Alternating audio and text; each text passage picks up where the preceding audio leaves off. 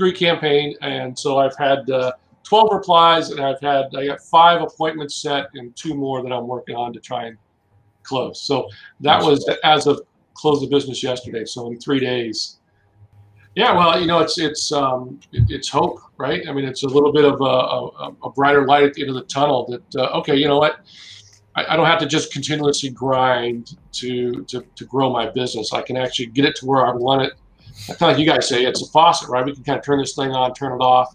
Yeah. And so you know, right now, hey, yeah, I'm wide open. But when I get to the point where I want to be, where I'm, you know, my goals, and then I can crank that back down if I want to. Um, so there's just an element of control and feeling like I have some control over actually building my business